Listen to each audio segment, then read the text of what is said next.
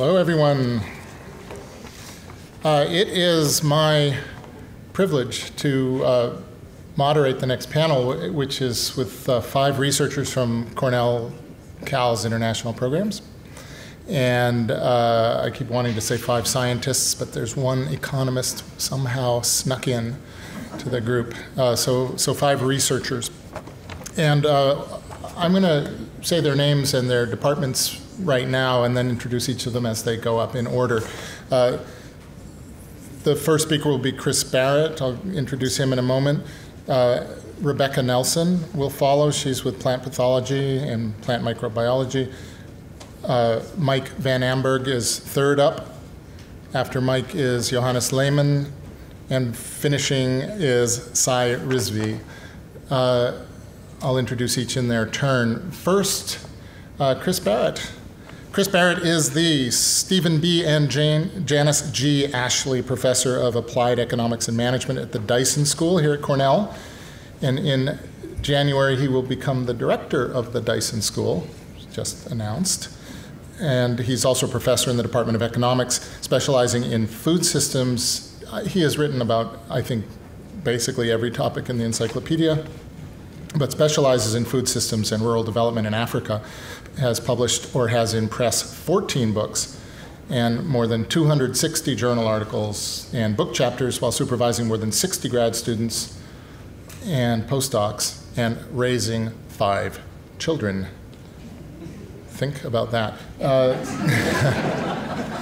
of course, Chris's claim to fame has yet to come. He will be a guest of The Daily Show sometime next week, so tune in for that. Chris. Thank you, John, for that uh, somewhat unnerving introduction.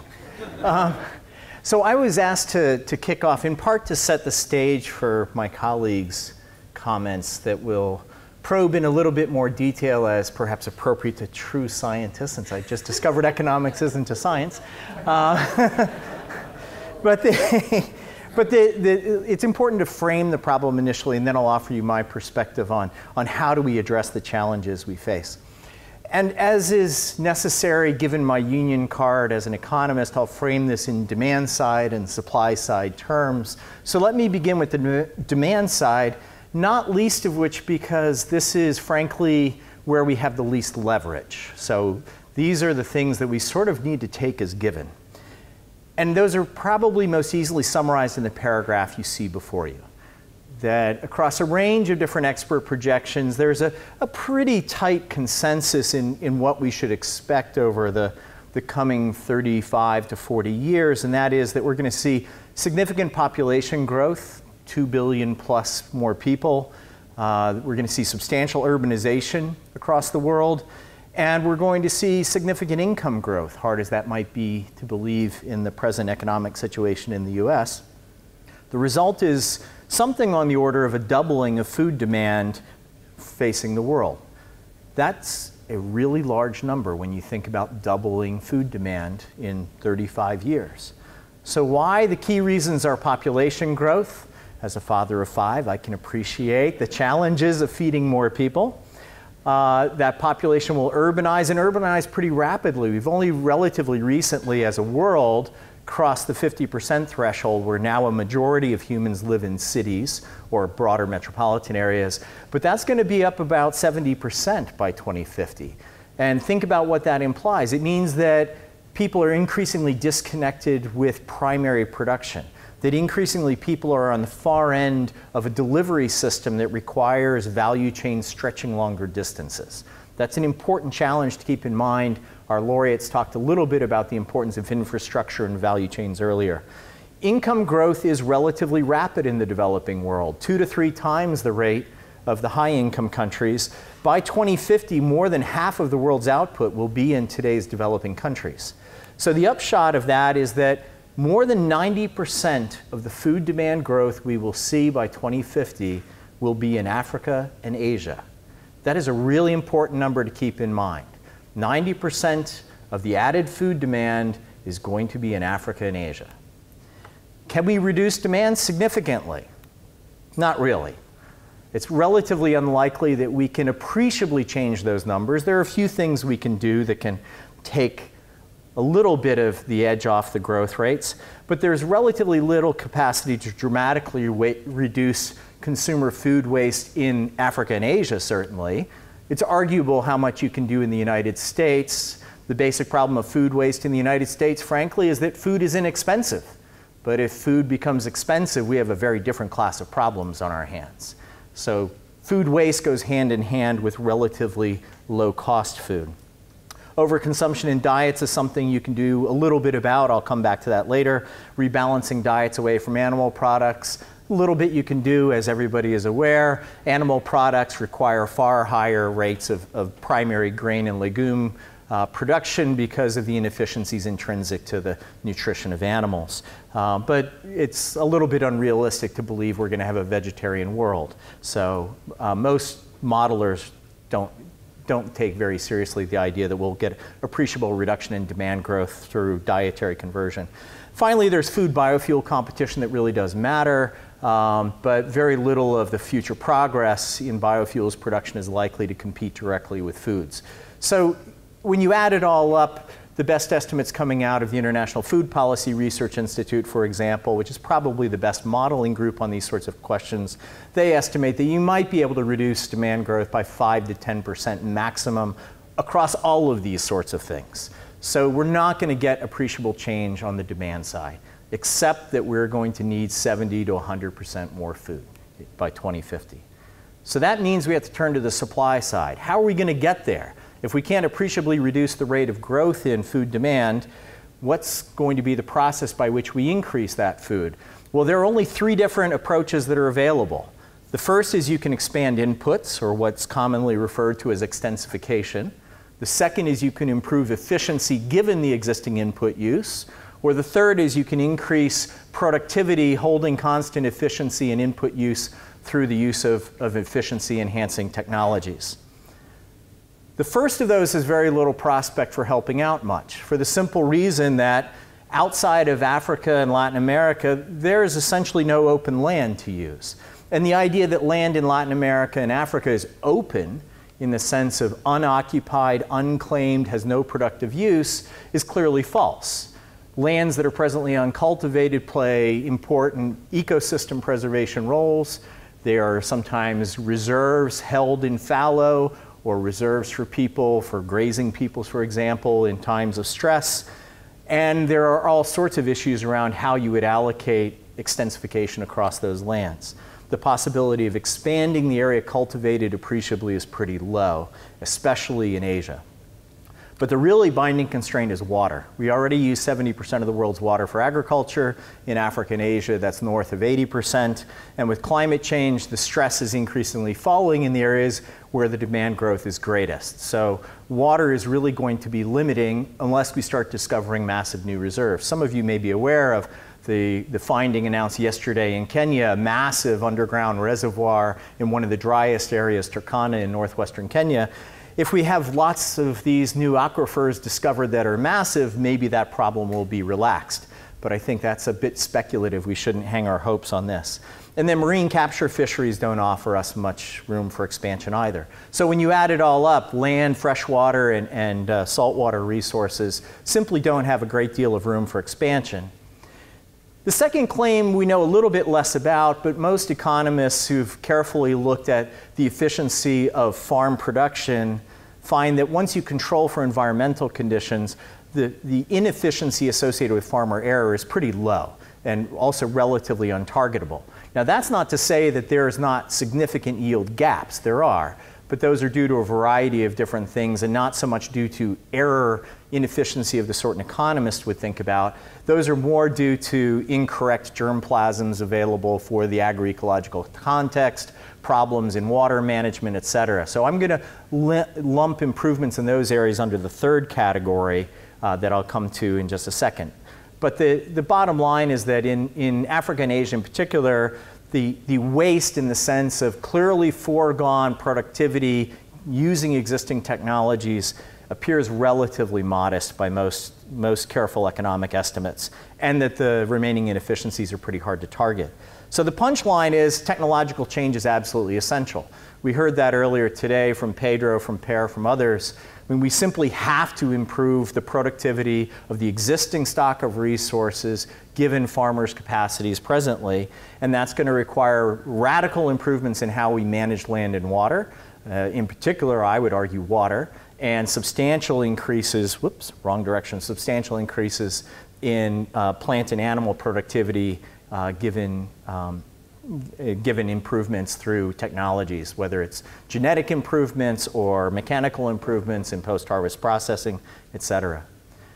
The second biggest point that I want you to take away from this is that just as the growth in demand is happening in Africa and Asia, so does the growth in productivity have to happen in Africa and Asia. For the simple reason that roughly 90% of the food consumed in the world is grown in the country in which it's eaten.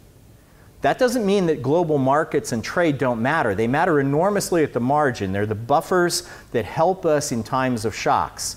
Climate change, adaptation depends crucially on effectively functioning global trade regimes and markets that can enable us to evacuate surpluses, windfall surpluses to areas suffering sudden deficits. But the workhorse of the food production and distribution system that will reach this increasingly urbanized global population is within the countries in which these increased Asians and Africans are going to live. So the productivity growth really has to focus in those parts of the world. Anything other than that is relying unreasonably on very long and rather expensive trade routes. Now, this means that there are great opportunities ahead of us. And as someone who sits in an undergraduate applied economics and management program that trains a lot of young business leaders coming out of Cornell, now, for my students, this means there's profit opportunity out there if you know how to manage this. If you can innovate in a way that helps the world, you can do well while doing good. And that's a pretty attractive combination. But that's going to require quite a few different things to support the private sector pushing productivity growth that really will reduce hunger and food insecurity around the world. The first is it requires, and Per, I thought, made this point very eloquently this morning, it's going to require redoubled political commitment to investment in agricultural and natural resources management, research, and development. We've simply become complacent, uh, especially within the G20 countries. We've become very complacent and expected that the miracles of the Green Revolution will continue, that we no longer need to worry about how we're going to produce food for the next 2 billion people. That's got to change. There's too much basic science to be done, and in particular for productivity growth in Africa and Asia, for which there is not an abundant commercial farmer market for seed, for fertilizer, et cetera. It requires public investment to prime the pump in order to help with orphan commodities in particular. But the market signals that emerge from an increasingly urban market an increasingly better off, higher income market in Asia and Africa, and the crowding in effects that come from public investment in R&D will engineer significant private investment. There's a long track record of this. Agricultural R&D has increased dramatically over the past 10 years in the private sector. It's in the public sector that it's come down dramatically. And the problem is the private sector investment is shorter horizon than the more basic research in the public sector. The public sector research is what sets the table for progress 15 to 25 years down the road. The private sector research is what takes care of problems in the 3 to 10 year window, i.e., within the horizon of patents, where you have intellectual property protection through which you can recover your investments. Trade is going to be absolutely essential, especially in response to increasingly dramatic and frequent climate fluctuations and the big problem here is, frankly, the OECD agricultural programs. You know, we spend more than a billion dollars a day in the high income countries supporting domestic agriculture. The protection rates are dramatically higher in agriculture than they are in energy or manufacturers. And that creates a very tilted playing field and it creates significant disruptions in global markets. That's one thing we can fix actively. In addition to investing in ag R&D, we can invest actively in improving the trade regimes and in reducing the imbalance in the trade regimes due to our own domestic farm support programs. Finally, sustainability-oriented marketing where you start to see firms that realize that there is money to be made by helping to educate people about healthy, sustainable, and just food production systems. There's a growing body of evidence that people are willing to pay a premium to know that their purchases are helping small farmers or helping farm workers to earn just wages, are being used to support production that is environmentally sustainable, et cetera. Tapping that market that people like you and me are commonly willing to pay that premium requires marketing. It requires some of those business skills that enable firms to educate consumers about the nature of their food choices, to verify that these claims are truthful, and then to extract from us that premium we're willing to pay to make the food systems work in a more just and sustainable fashion. It's doable. People are doing that right now, but we're not doing it at scale yet. That's very much the future, I think. So there are abundant opportunities, but there are also threats, because there are good reasons to believe that we're not going to succeed in all these areas. In particular, I remain somewhat skeptical about the willingness of major governments to step up and deal with farm program reform, trade reform, and to make major investments in ag R&D for Africa and Asia as opposed to just for their own farmers. And if we fail to do that, there are some pretty grave consequences that may be ahead. The most obvious that we've already seen since 2007 8 is higher and substantially more volatile food prices with all the attendant risks that runs. Risks it runs in particular for hungry people who struggle to feed their families. But another important risk is, is the risk of increased socio-political instability. Uh, I have a book coming out. There will be a, a, chat in the stacks at Mann Library in mid November featuring Wendy Wolford from Development Sociology and Susan McCouch from Plant Breeding and a few of our graduate students who, with the two of us and, and 15 others, authored a suite of chapters in this Oxford University Press book that's coming out later this month Food Security and Sociopolitical Stability. The punchline of that is that we're in a world that's growing increasingly dangerous if we don't get around to attending to the necessary investments in improving food security by boosting food productivity, especially in Africa and Asia. And not least of which, and the area where I'm least confident we're going to address these problems appropriately in the near term, is the degradation of natural resources. We're still borrowing far too much from our grandchildren, and we have a lot of work to be done to fix that.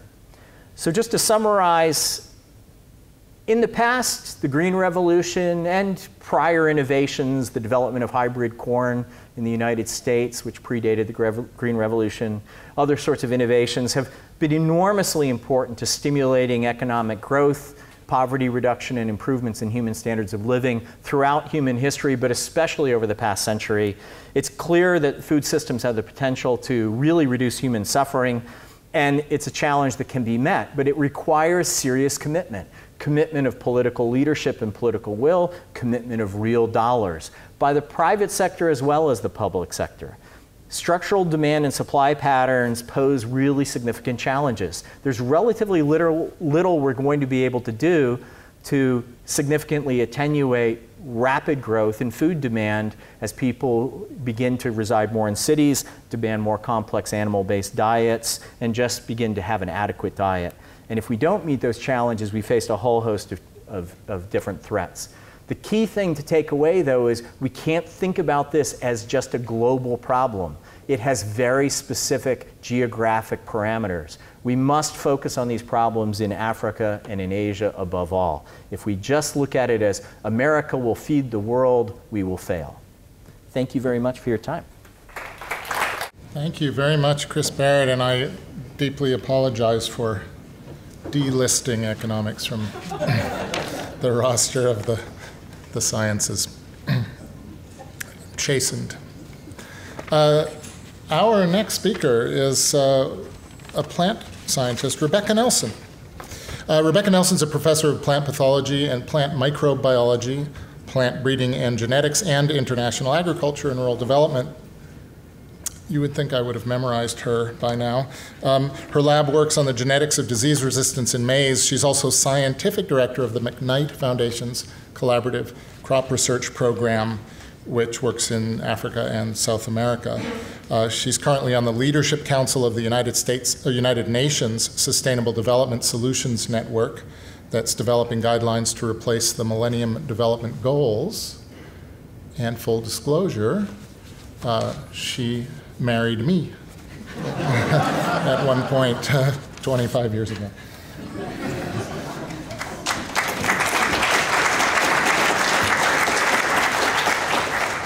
Oops, word. Oh, how do I manage this? Okay. Afternoon.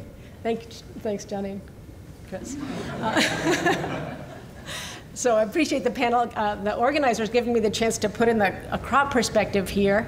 Um, so if we look back on crop production over the last uh, 100 years, we've made this transition from a, a, a state in which people and their animals provided the labor and the and the fertilizer and develop the crops and manage the water for farming to one where in, in modern agriculture it's largely machines. I mean, people are there too, but um, we have uh, mechanization to do a lot of the work and fertilizer to bring in the nitrogen. We have crops bred by plant breeding professionals that can use that nitrogen efficiently, and water is again handled by machines. And so we've uh, replaced a lot of the variability with inputs. We sort of optimized this relatively simple form of farming, and it's it's worked great. We have so we've had this guy here on the left who figured out how to pull nitrogen out of the air and put it into the into the soil with fertilizer, and the guy on the right who figured out how to plant, make plants that could capitalize on that.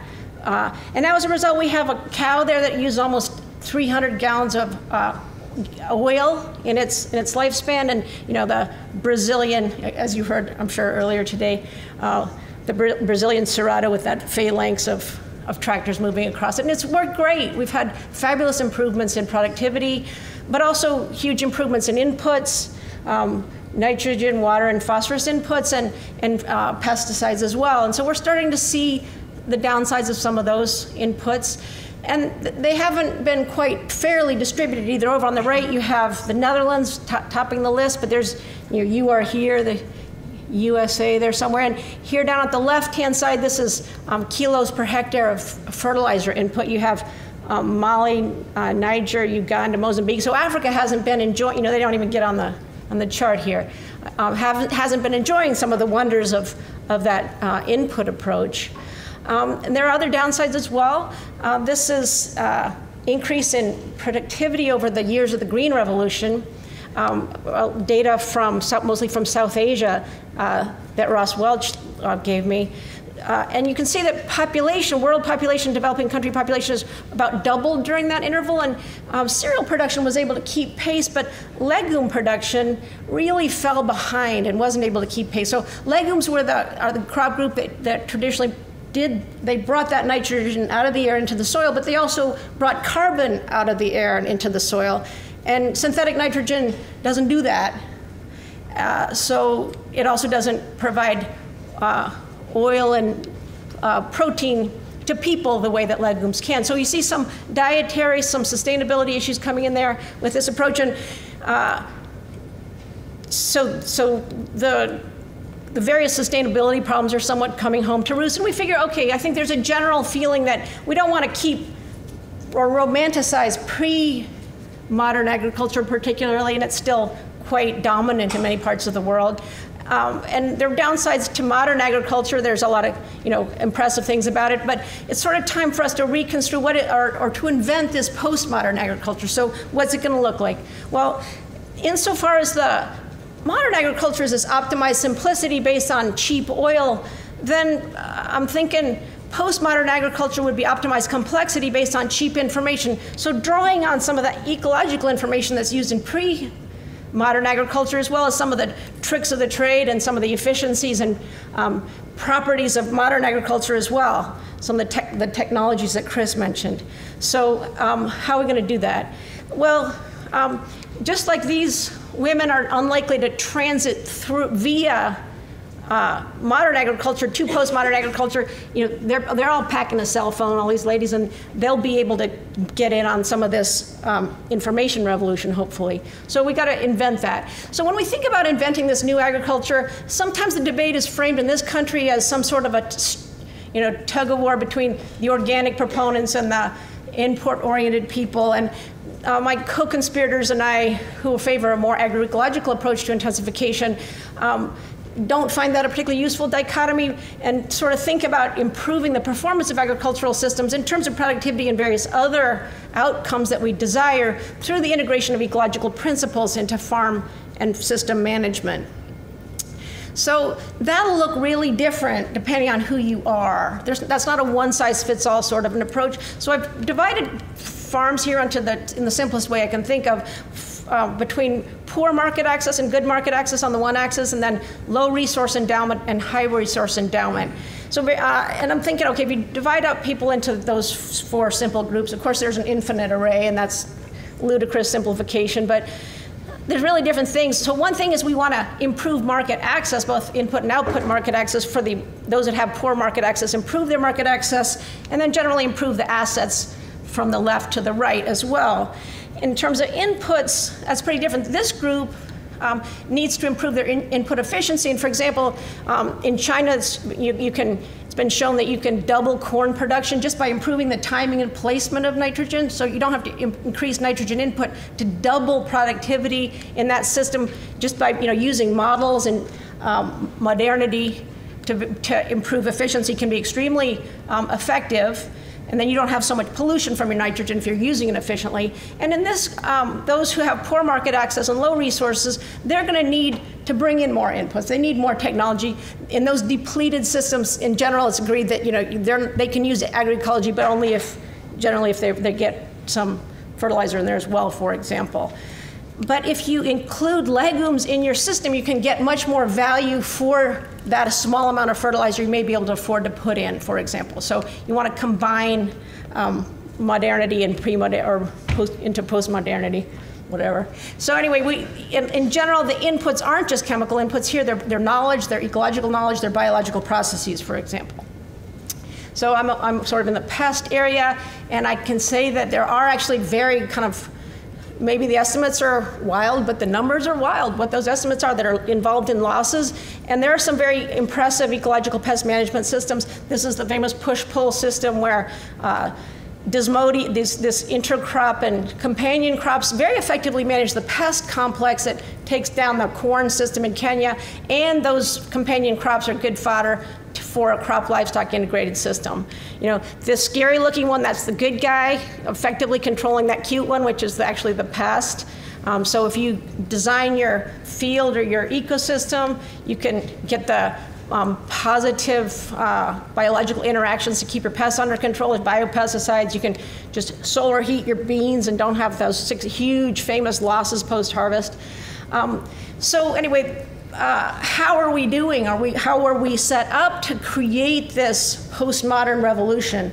Um, badly, I would have to say. Um, one dimension of it might be to, to go for a more precision approach to agriculture. If you think of an axis in which the extreme here is precision agriculture, where you're getting it right um, meter by meter in a very heterogeneous environment, versus a national blanket recommendation where you're just doing the same thing across the whole of Ethiopia, irrespective of its vast heterogeneity.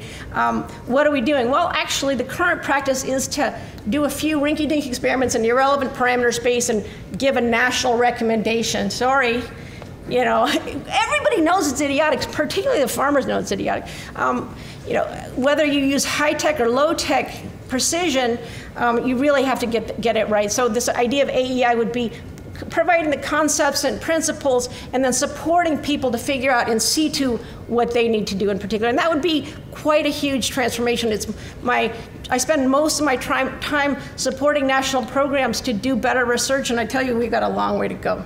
We need what Chris says of the greater investment um, and a transformative investment to make that better.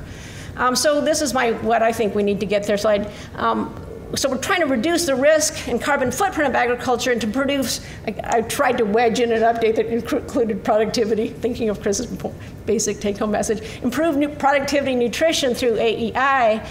To do that, we're gonna need to build the evidence base for it. After decades of work, on industrial, industrialized modern agriculture, we have good evidence base. It works great. Ecological agriculture doesn't particularly work great generally. So we need a lot of ecological information across diverse contexts, and then to be able to turn that into viable options to fit farmers' very multifaceted and uh, different contexts.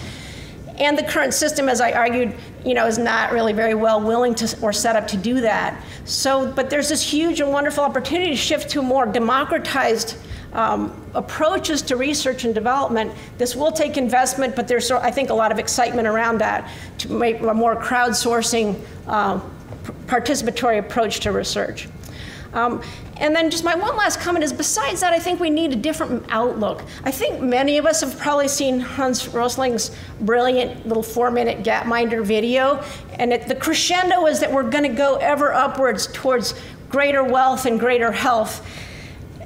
And I don't think that's the, really the right image to leave in our minds. If we think of having, you know, the sector, the big sector that has not enough, there's some people with enough, and then a lot of people have too much, arguably. We need to have a different idea, I think, converging towards the, the sustainable enough rather than always having to have, we don't want to have always more meat, more nitrogen. We want to have the right amount of meat, the right amount of nitrogen, uh, which for a lot of people means more and a lot of people means less. Okay, thank you.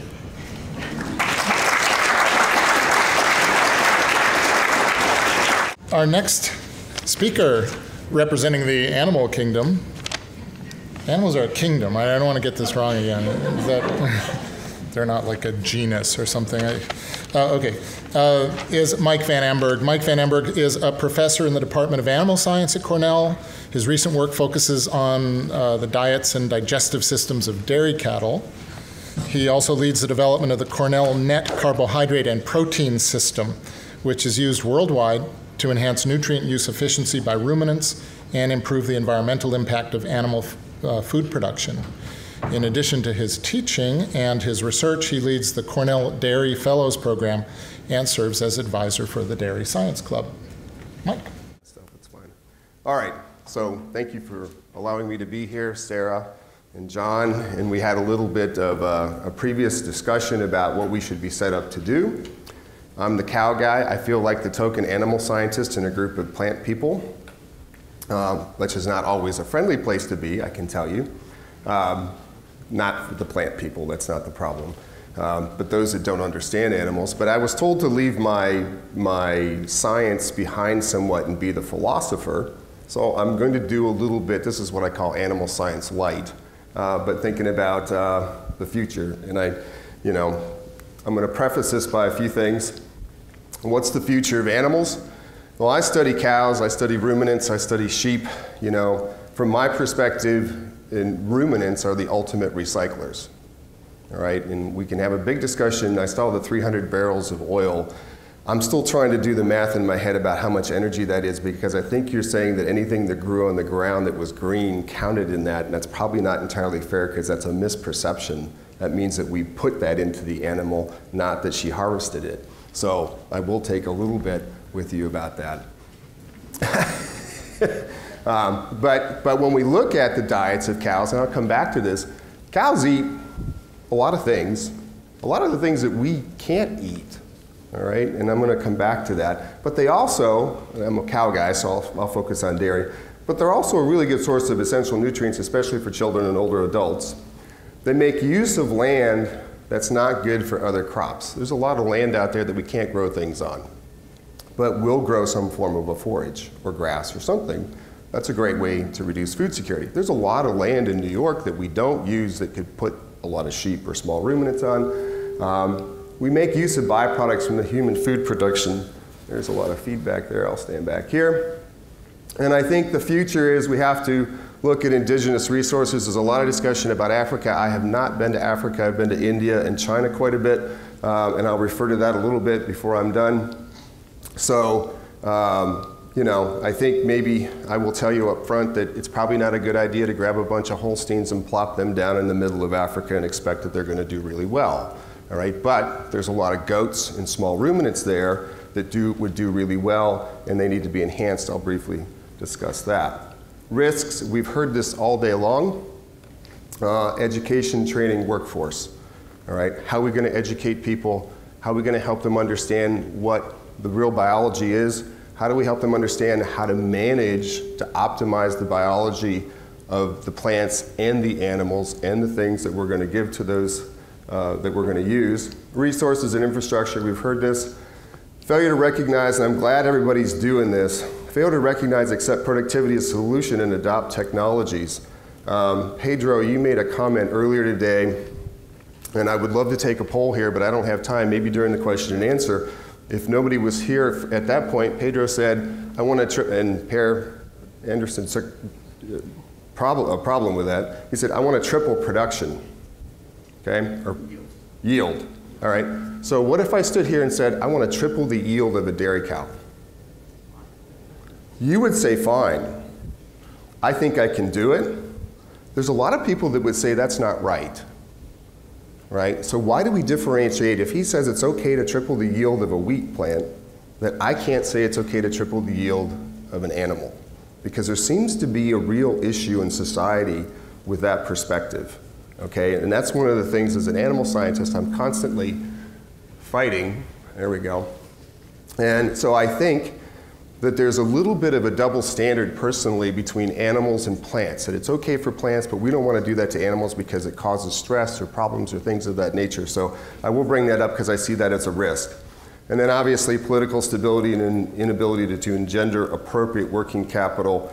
Um, I think there's places in the world that we are starting to see capital investment, uh, like China, at least in, in some areas, but uh, how that gets used is still a problem. So I think there's no, you know, and, and you did make the point about how much. I think that's right. How much do we need to feed? How many of these nutrients do we need to feed to children or growing kids and, and um, Roger made a point wherever he is. That was excellent. I really enjoyed that because um, I, I saw a little bit of that at one point in my life, and, and it does stick with you. So we need to figure out how to get animal source foods into children. They need it. There's no discussion about the fact that we know that that's important. Uh, we know, you know, well, we can talk about no food. Roger's example was basically no food, not just animal source food. But we know if we don't get the right nutrients into children, poor growth, impaired cognitive performance, you know, deficits, psychiatric disorders, um, high mortality rates. I'm going to try and stand up here and see if I can do it. You know, we can come up with this list of calories and nutrients here. You know, if we look at uh, dairy product contribution to U.S. intake, I'm going to use the U.S. simply because it was easy for me to find this data. Um, percent of calories, about 10%, but 58% of our vitamin D, our calcium, 28% of our vitamin A, our potassium, you know, we can go right through the list here. We want to put meat into that. Now we're talking about iron, which is a real problem around the world. I know plant scientists are trying to figure out how to change that and put um, nutrients into places where we can get that without animal products, and I think that's a real positive. One of the questions that I did hear this morning, though, and I want to bring this up, is about the climate aspect, because I, I am constantly being bombarded by the cows and the animals are destroying the world with methane and CO2 and all this kind of stuff. I fully disagree with that, and we can talk about why that is. Every food has an environmental impact. Nothing is free. The question is, is how many nutrients do we get per unit of environmental impact? All right, and I think that's the one lesson or the one point that I want to make here is that I'll use milk because I think that's the best one. This came out of a paper by Smedman. Um, milk 53.8, and you can read how they did nutrient density 99 grams of CO2 per equivalents per gram of product, orange juice. You can see the drop off in nutrient density. I do like a lot of other fermentation end products, so I'm going to drink my fair share of red wine and beer. Uh, you see beers way down here at the bottom. Doesn't put out a lot of CO2, but it really isn't worth much uh, in terms of nutrient density. But notice where milk ranks. You know, and this came about because Denmark, I think it was Denmark, wanted to remove milk from school lunches because they thought it was just, just a big environmental impact. And somebody said, well, if you look at it per unit of nutrient density, it looks pretty darn good. So instead of just looking at a product and saying this is a bad thing, let's look at it from how we feed the world because I think this is much, a much better way of doing it. I'm also quantitative. He mentioned the model. We're getting to the point now, this is a little bit of my research, or, or, how we think about it. We're getting to the point now where we can actually tell you how many grams of CO2 and how many grams of methane per unit of dry matter intake, per unit of milk, per unit of byproduct that a cow's producing immediately upon formulation of the diet. So anywhere, anywhere in the world that you can want to formulate a diet for a cow, we can do this. So we can actually get an immediate feedback on, is this an environmentally friendly diet or not? And if it is, great. If it isn't, you have the alternative to change it. So, and I think this is, again, the way we need to start thinking about things. We can't just say cows are bad, this is good, or animals are bad, this is good. We have to look at input output relationships. And that's just a picture of the model. But I think that is one of the things that I've run into as I go around the world is we're not very good at other places of the world at quantifying, modeling the inputs and outputs of the system. And Chris made a point about this.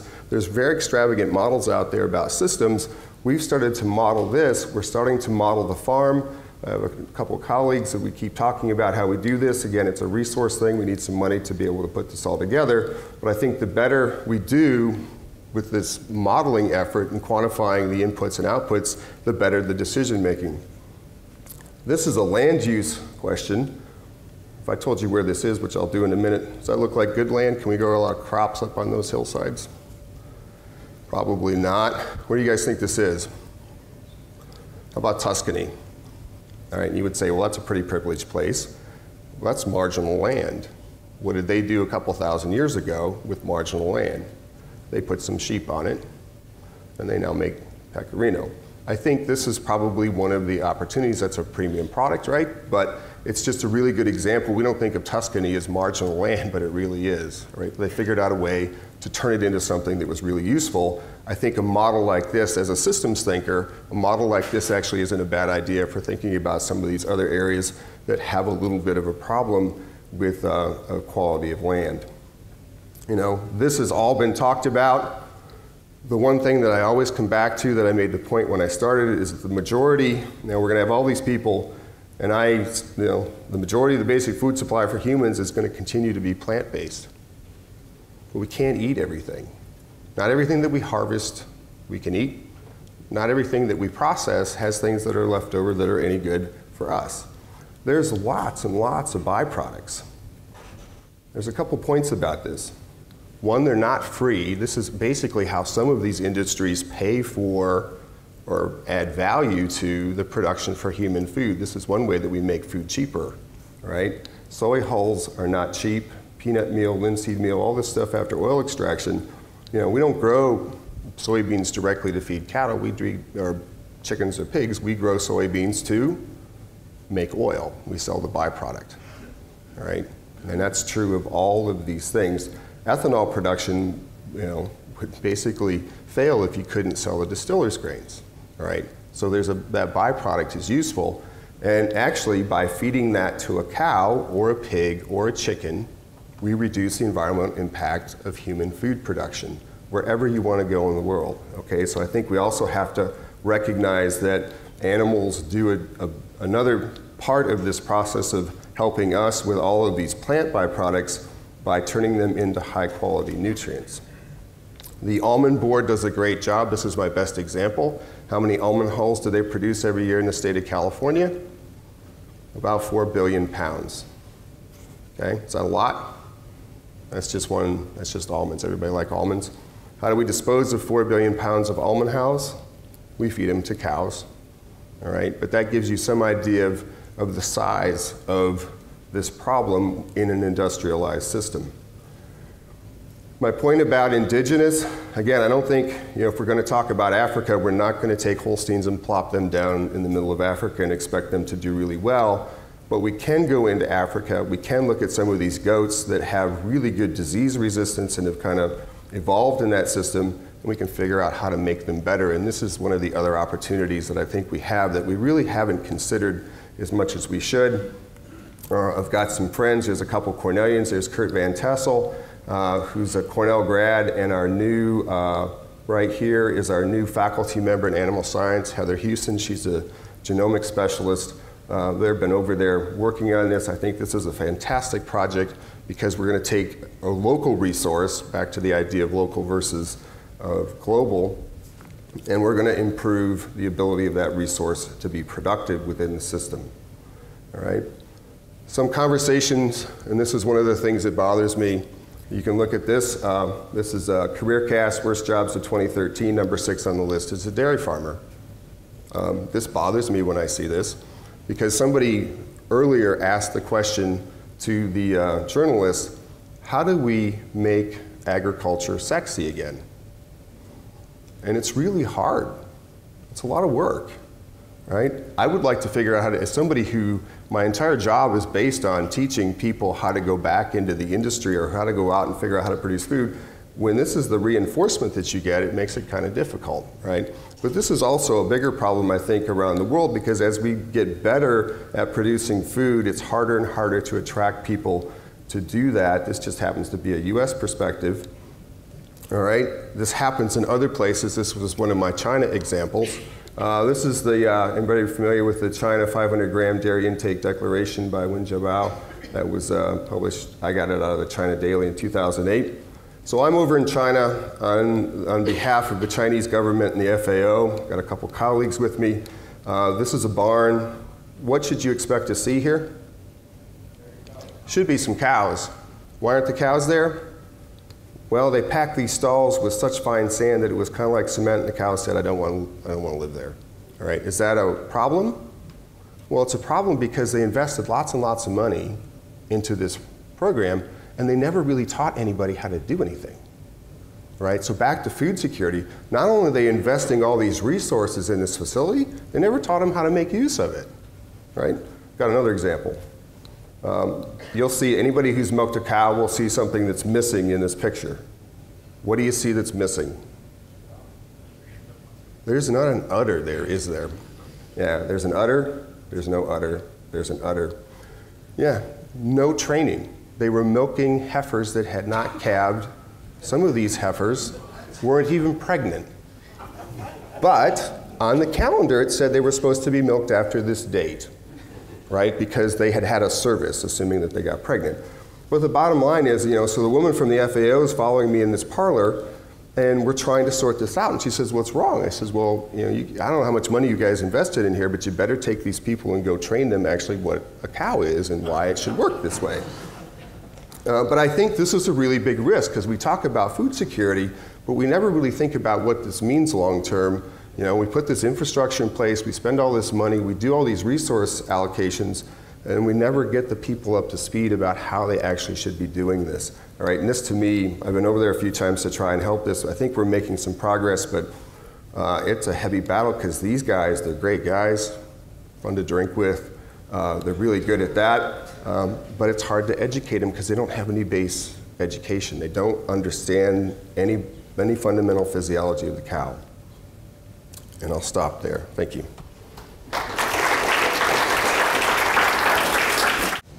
Our fourth speaker of five uh, today represents uh, the soil.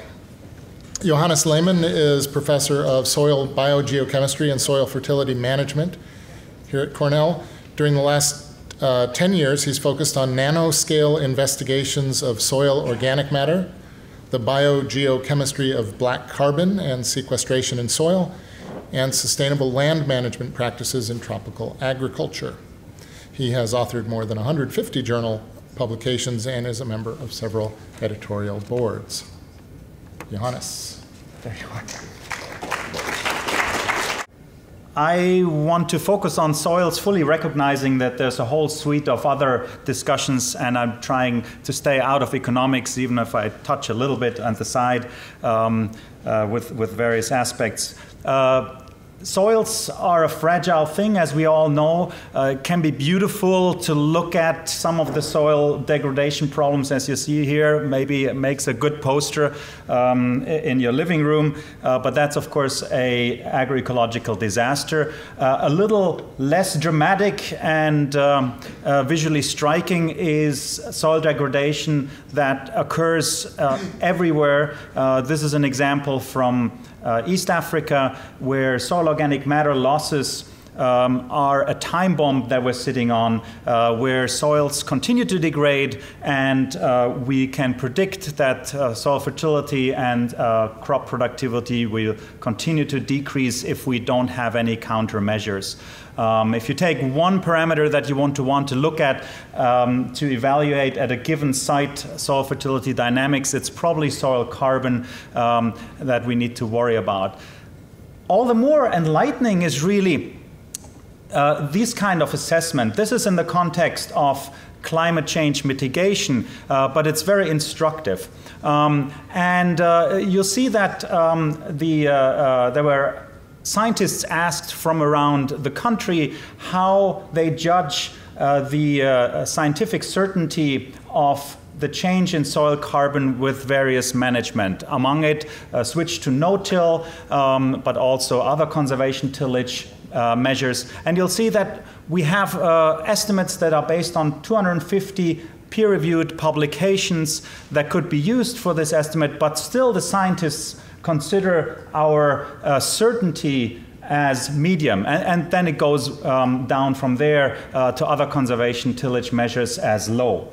So what's, what's wrong here? Uh, 250, do we need 500 papers to have certainty? Uh, uh what's, what's, the, what's the story? Well, there's, there's something uh, wrong and right about that. Um, here you see the average um, uh, in, expressed here as, as, CO2 equivalents because it's in a climate change realm. Um, but uh, there's uh, an average increase of, um, um, of carbon sequestration, uh, but the error bars are much larger than the, uh, than the average.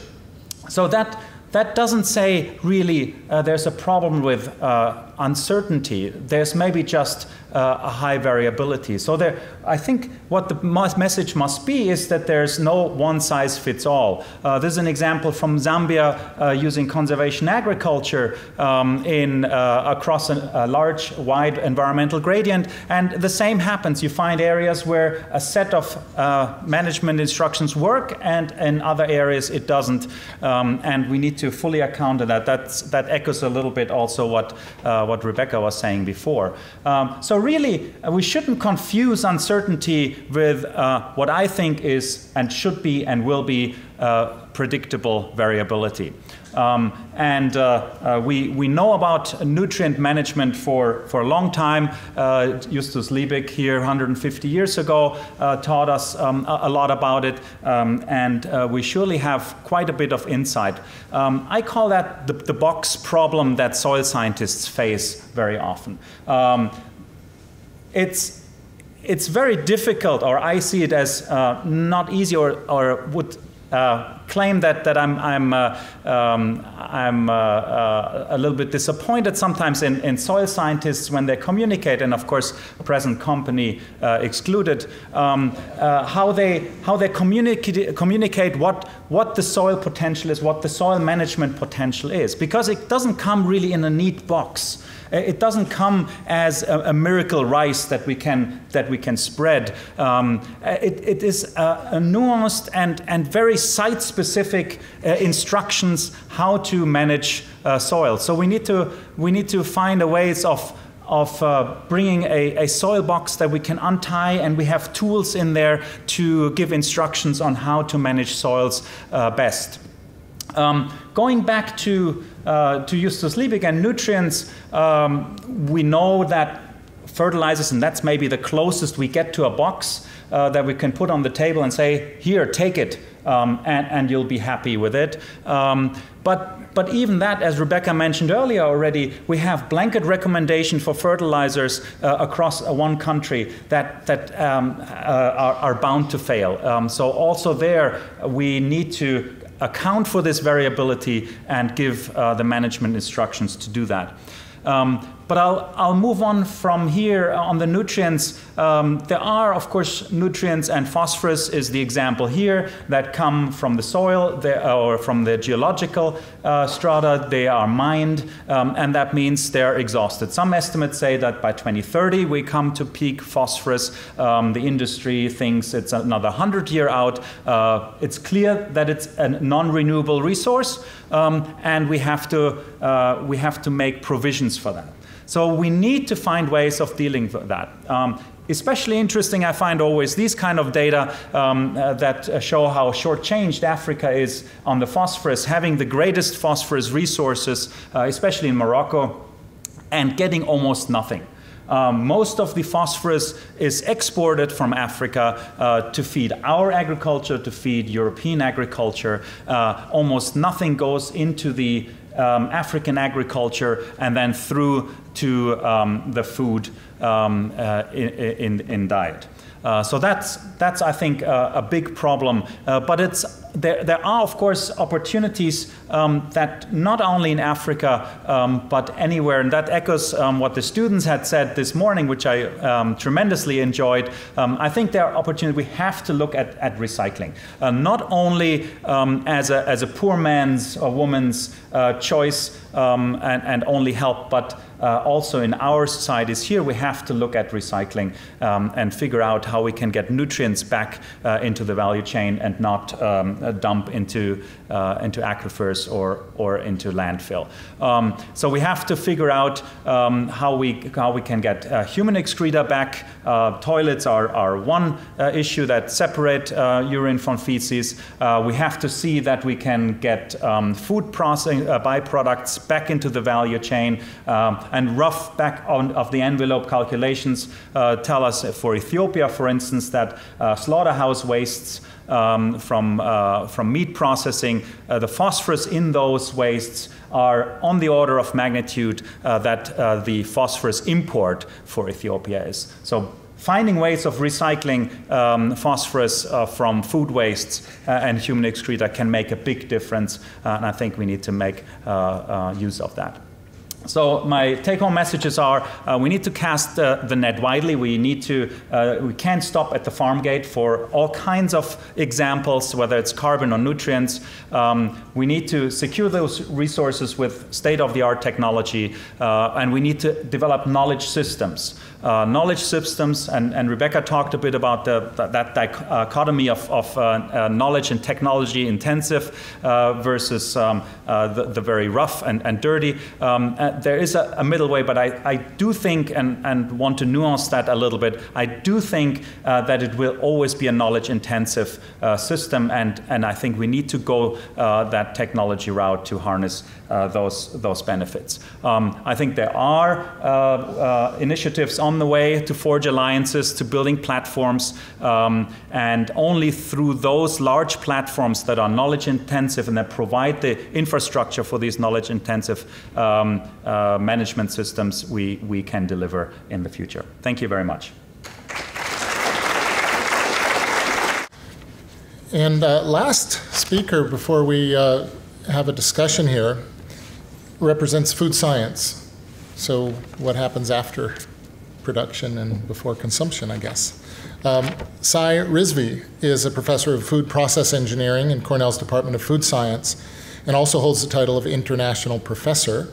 He's interested in engineering and processing aspects of food science and value addition for global markets. He's published over 150 technical papers, co authored or edited six books, and uh, holds six patents. He was selected as a Jefferson Science Fellow and served as a senior science advisor at the State Department in Washington. Syed. Uh, first of all, uh, before I get started, I'd like to take a moment and uh, congratulate uh, international program of the College of Agriculture and Life Sciences for 50 wonderful years of making contribution to uh, food and agriculture worldwide. and thank you for including me in part of your, as part of your celebrations. So going backward. Okay, so my um, take on this is uh, food for the future. Uh, and how do we build a new food system that will address this issue? And I'd like to begin by sharing some thoughts that I have coming from outside of agriculture in the beginning. I really captured, you know, some of these facts that are very intriguing. When I looked at this map, which is uh, produced by the World Map, and if you look at the darker blue, uh, shaded areas, these are uh, the agriculture as, and value-added product as percent of GDP. So the more than 15% of GDP depends on agriculture. Look at those countries, and if you superimpose on that uh, from uh, uh, the FAO a map which shows that where is the prevalence of undernourishment is more than 15% to up to more than you know almost 100%, you'll see they are superimposable. They're literally, each map can be superimposed. So what is the message? The more you depend on agriculture, the more undernourished and poverty stricken you are. And if I impose third map on this, which says that you know how many what was the prevalence of people making less than two dollars a day. There'll be another map that can be superimposed. So then uh, immediately the question comes: Does agriculture perpetuate poverty and malnourishment? It, our our uh, civilization began with uh, food and agriculture, and it's going to end with food and agriculture unless we address it correctly. So, what is the reason some of the problems we see is in agriculture we have short term surplus and long term shortage of commodities. You go in many parts of the world, we produce a lot of food, but we do not know how to use them at times. Here is a you know, potato farmers growing so much potatoes, they do not know what to do. They dump it on the on, on, on uh, highways to get the attention of the government that something needs to be done. You can look at this, then uh, 15 to 20 percent of the produce that's, that's uh, you know, um, that small farmers make, they are wasted or they are exposed to conditions where their utilization is very minimum. So if you look at the challenge number one is therefore, how can we integrate small holder farmers into value chain? This is a very key question. How do we integrate that so that they get the best return on their investment and also creates more job for them? So they do not depend only on production agriculture, but what to do with whatever they have produced. So if you look at fruits and vegetable industry, for example, in many parts of the world you go and you'll see one recurring statement that we need lack of support and availability of cold chain impedes fruits and vegetable industry growth, which is probably correct. But let's diagnose that a little bit more is that, you know, again, you'll see high operating cost makes uh, setting up cold chain difficult and unviable. Another statement, you'll see cold storage facilities in India, for example, are available only for 10% of the produce, majority of which is used by potatoes. And these are the correct statements. So therefore, they're pushing the government, we need cold chain. And government has agreed to put in a lot of money to create new cold chain. So my question is, is that the right policy? The reason I say that is because if you look at another example of Anand Milk Union Limited, this is a cooperative which deals with milk and milk products only. If you go and analyze this, you'll see that even landless farmers with less than, you know, couple cows, one or two buffaloes that, that, that, that belong to them, if you, if you analyze that, you'll see they milk and walk about almost a kilometer and stand in line and sell their milk, which is collected. A refrigerated truck comes in and it takes to a processing facility, and a lot of food products come out. Now, milk is 10 times more temperature sensitive than any fruits and vegetables. But these guys did not wait for government to establish cold chain for them to take care of milk. They created a market driven economy. They created product and it became like a, a suction effect and everything in, fell in line. So therefore, we have to do something very similar to fruits and vegetables, but there are reasons why it has not happened. It's not a rocket science, but again, if you look at uh, fruits and vegetable industry, you will see there are different reasons why the same thing cannot be replicated. So this Anand Milk Union Limited is owned by more than 3 million farmers, and its annual revenue is about three, $2 billion. If you look at the fruits and vegetable industry, we talk about it. You read the papers, you'll say, we'll produce and we'll go and we'll market it. But there's an ocean of activities that have to be in place before that can happen. And for th- those kinds of things to happen, we need some preservation technology, we need value addition technology, we need distribution system, and above all, job creation and economic empowerment through agriculture is often not emphasized enough that agriculture we have produced, this is raw material, this is source for income, where there are many things that can be done, food and non-food uses of agriculture to really empower the farmers, not only get more money for their product or their produce, but also as a source of income by non-food related activities. So how do you do this? If you look at, for example, from farm gate to marketplace, and we talked about some of it this morning, uh, if you look at the number of steps, we talked about, you know, we heard that we need more roads. But roads and infrastructure is one of the things that, that are needed. But you know, many things like quantity versus quality, market intelligence, state of the art technology, harmonized standards, regulations, trained manpower, science and engineering technology centers and incubators, capital, infrastructure. These are all interlinked activities that are necessary in order to take from farm gate to the marketplace.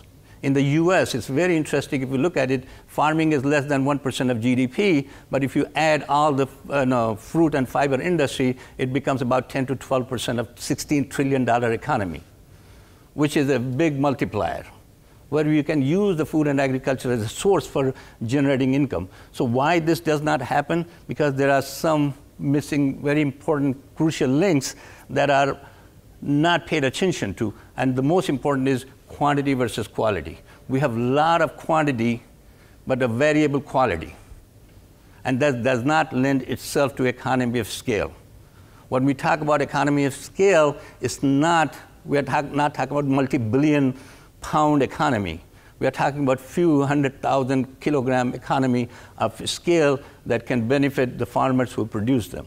The reason it doesn't happen is because if you look at the landholding side, size, in India, it's about 1.6 hectares. USA is about 160 acres, 100 times more. So what happens is when farmers produce, every farmer is producing, for example, a different kinds of potato. Some potatoes have high sugar, some potatoes have low sugar. You turn, make French fries, you'll turn brown. The other one will be still green. Same thing with the, with, uh, with, uh, with the tomatoes. You cannot have green tomatoes and ripe tomatoes all put together, junk in and junk out. So therefore, there is, has to be a way to have a large quantity of defined quality so you can make economy of scale and make good quality product day in and day out. Even if you do that, sometimes it does not happen because many people have tried this through contract farming, for example. If you look at uh, solutions, people have tried contract farming. But contract farming, again, multinationals go for contract farming, and there again, they do not touch it with a 10 foot pole unless it's a multi, multi million dollar undertaking. So when I was at the State Department, we worked on an idea of using small and medium sized enterprises to go and work with the regional, smaller scale farmers where we can bring some economy of scale. And uh, then the third idea is a producer company. Now, the government of India, for example, has started how farmers can come together and form companies of their own similar to Amul. But farmers are not technologists, they are not engineers, they are not business people. They need somebody who can test, take their produce, first of all, work with them so that everybody grows, if they grow potatoes, they grow the same variety of potato. So that brings economy of scale. Then the next st- step will be how to take that and make into valuable products. And that uh, you know, producer company idea is being pursued, and several um, efforts are underway.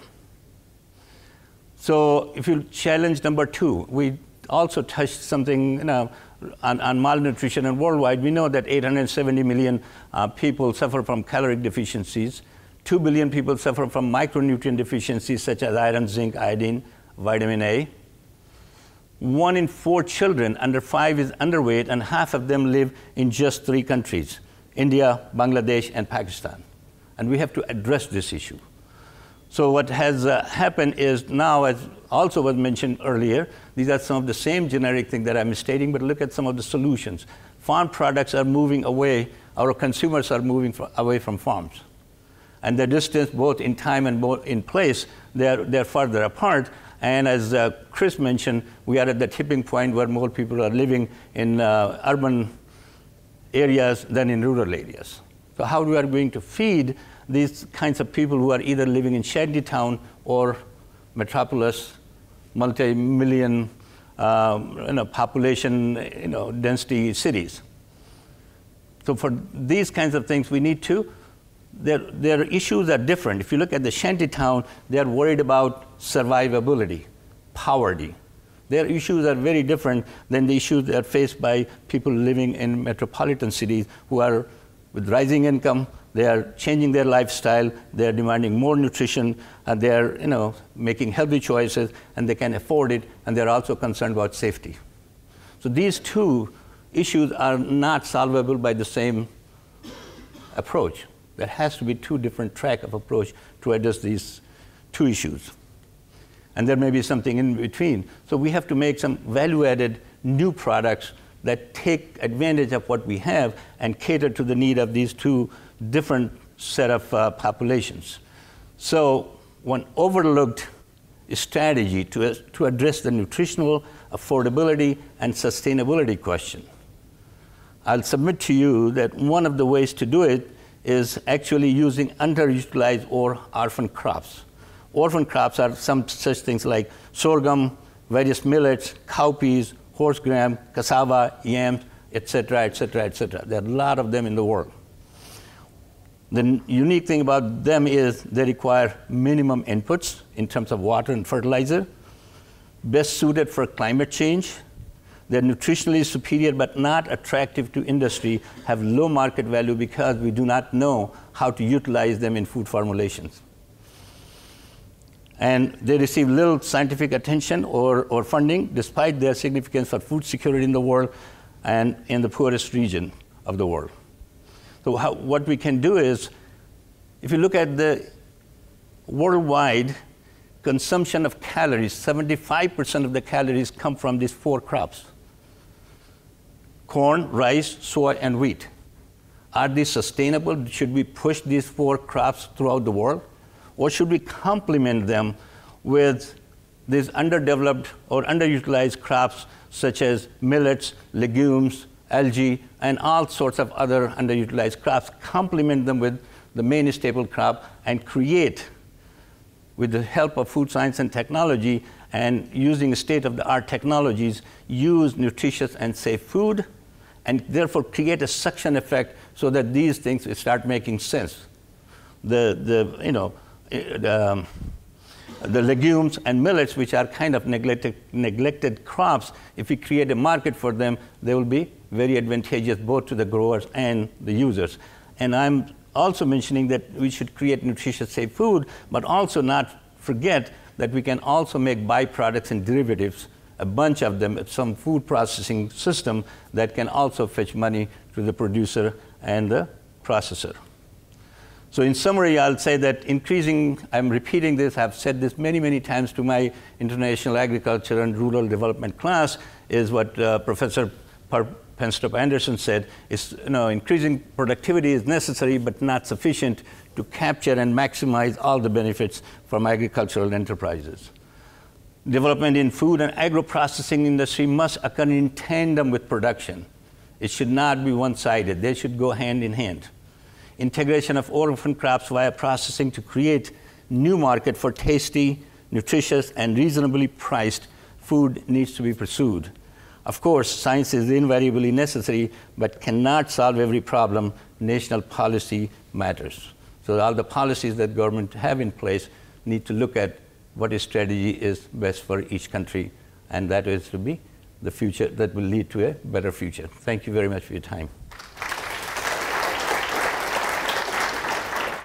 One of the things that comes through uh, to me in everyone's in one way or another in each uh, of your presentations is this heterogeneity question that uh, understanding that blanket solutions aren't going to work uh, that you know certainly some things some solutions are going to be large scale and, and easily scalable but maybe most aren't.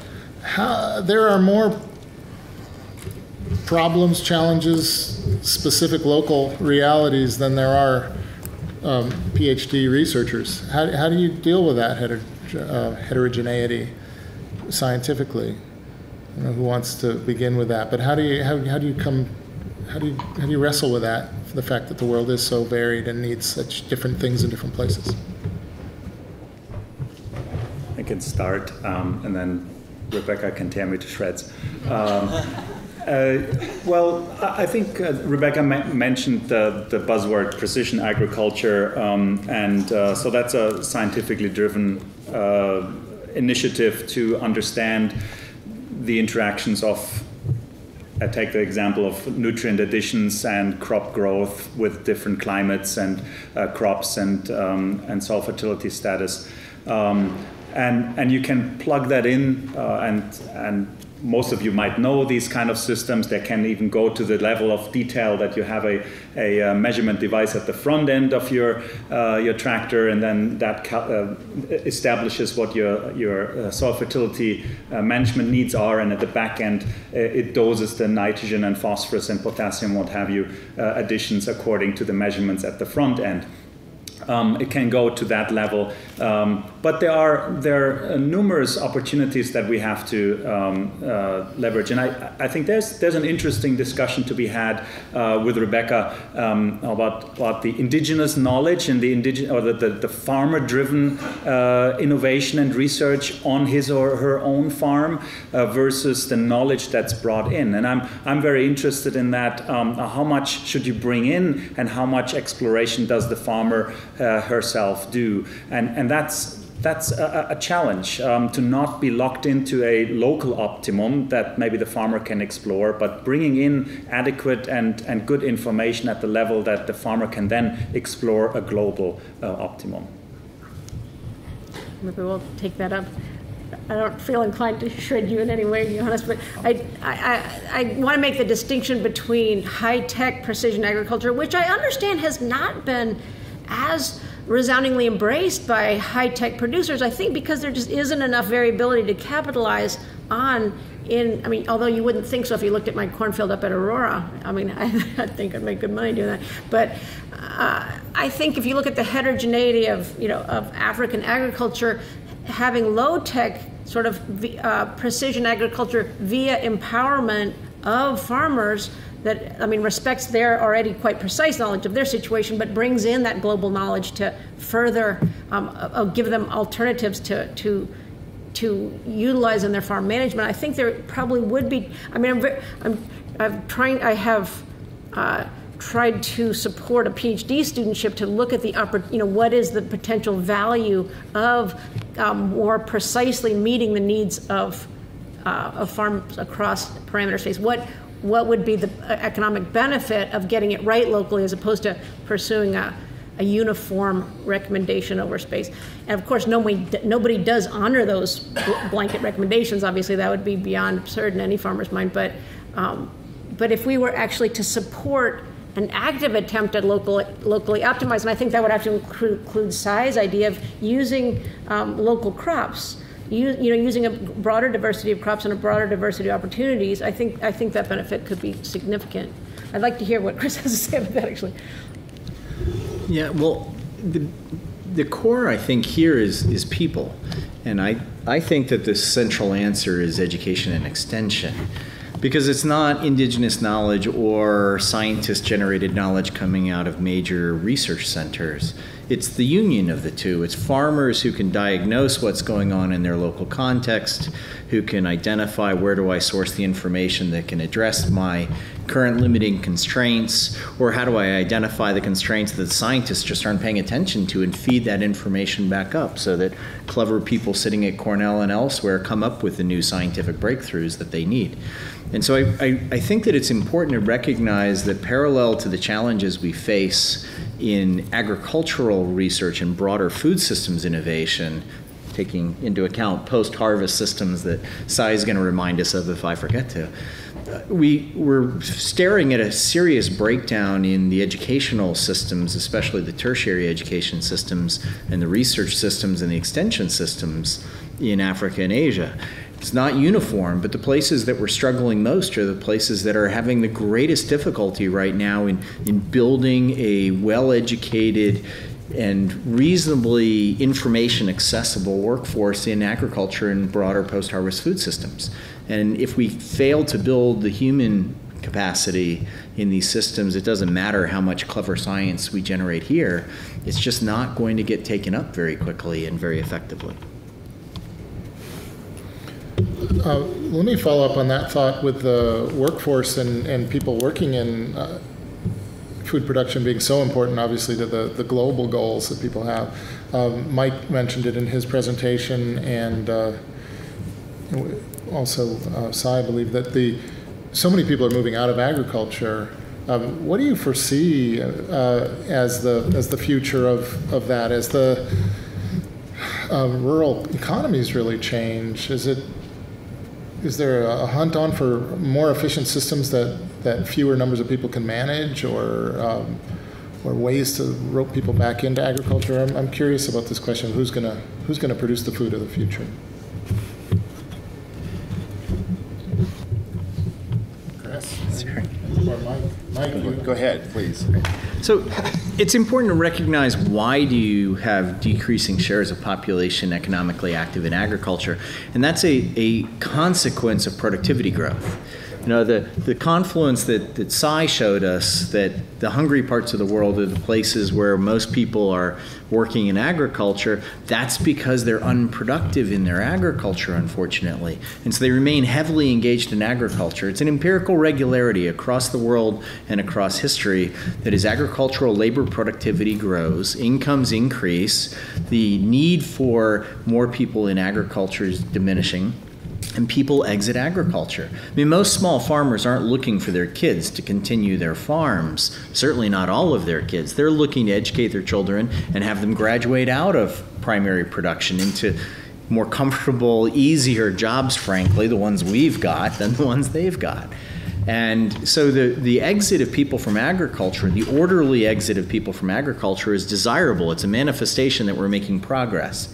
The trick is when people are getting flushed out of the system, it's not orderly. They're being dispossessed of their land and they're simply having to leave because the soils are so degraded that it's not worth cultivating and they move to shanty towns. So the, the, I think we need to worry less about the shrinking s- size of the economically active population in agriculture and worry much more about the productivity of those in agriculture, their labor productivity. Shrinking size of the farm. yeah. Mike? You wanna- I'll let Cy go, and then I have a comment. Okay, um, in my opinion, you know, the more people involved in agriculture need to get out of production agriculture and use that agriculture as a raw material to create newer and you know food and non-food products. Not necessarily just food, but ag- agro business industry. We have not we have used agriculture only as a source of calorie and food. It's not looked upon as a source of business if you look in this country, you know, it's the largest employer is the food and fiber industry. 25 million people work in, in the U.S. in food and fiber industry after the farm gate. And it multiplied effect of, in terms of job and in terms of addition to GDP is tremendous. Not many countries look at that, that bring those people, create some kind of uh, infrastructure or business opportunity for them to benefit from. Not from production, but what to do, what to do with that pro- produced product and how to use that in, in making novel and new products for food and non-food uses. I have a different perspective since I'm a dairy guy. I would, who, who milks the cows in New York State? Are they New York State residents? Mm-mm.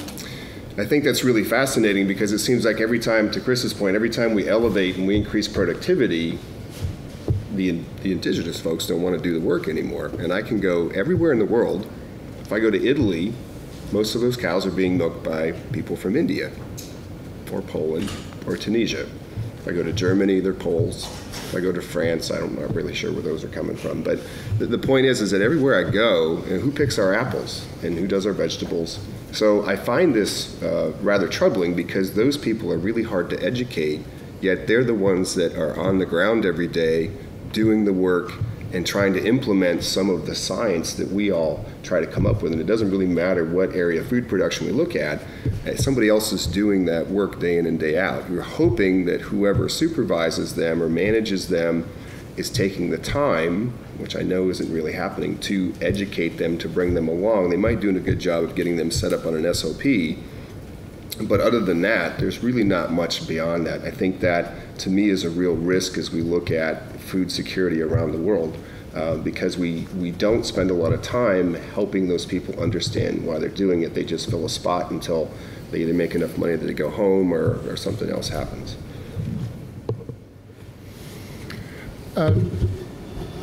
I have a, a question or two before, um, love to open it up to, uh, to the floor. Uh, seeing all of you here, you know, selected because you're representing different disciplines uh, makes me think about the challenge of working across disciplinary boundaries. And anyone who's spent more than half an hour out in out in the world knows that the world doesn't divide up into academic departments. Uh, how do you coordinate research on you know how how two a two part question. One is how does the, the fruits of your research get into the world, and how do you coordinate with with one another to make sure that you're not stepping on each other's toes or negating each other's work or that you're you're building on that complexity.